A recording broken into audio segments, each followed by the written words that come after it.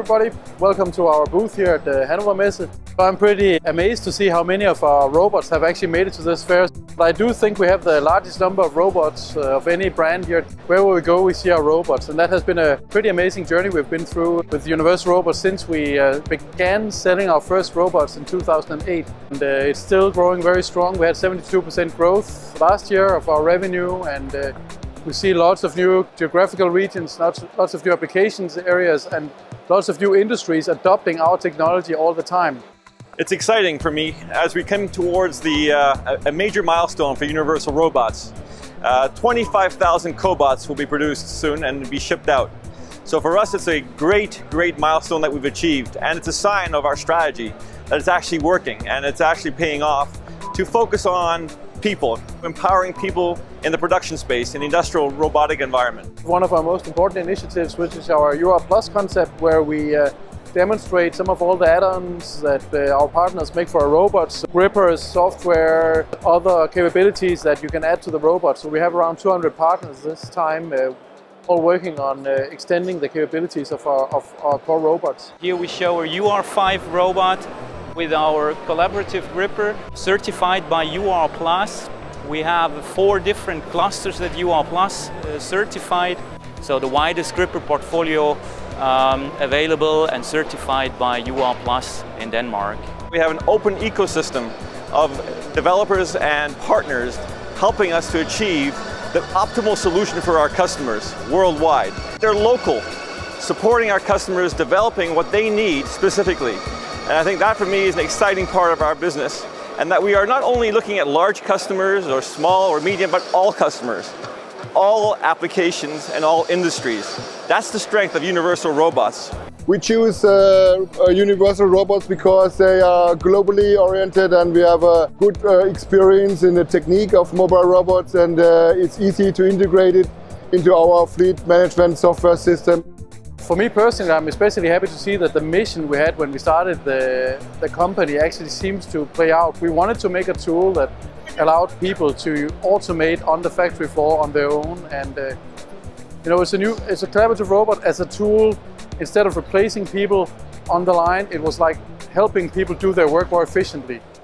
So it's all part of a transition trying to move robots away from you know this big machine behind a fence to becoming helpers for people.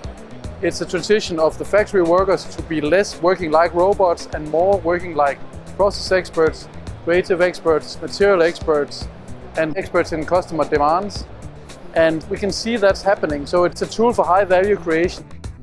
We program robots with uh, intelligent clothing, for example with jackets, or you can see the sensors he is wearing. The sensors capture his motion and so he can control the robot. Also record the movements and can repeat it later. With machine learning, with only teaching it by his movements. So everybody can do it because it's intuitive and easy and it's really cheap. And it's really fast. In our factory, uh, Smart Factory OWL, we are doing a lot of research on new technologies all around Industry 4.0. Here we show you some augmented reality solution. Uh, the movement of my hands is tracked. So step by step I'm led through the mounting process. When I'm done with the mounting and the assembly, the uh, robot can take the part and bring it to a quality control. So this is a scenario of the future how we can mount and assemble parts together in collaboration with a robot. On this side of our booth, we have our academy, which is all about training people working uh, on the factories to becoming robot programmers and training them in becoming more adept at using automation. Our reporter ro report here, it is one of the famous one in the sector of vocational training because it is a collaborative one. We are teach in this effective way the people to know the basics of robotics technology the basics of automation technology and the basics of mechatronics.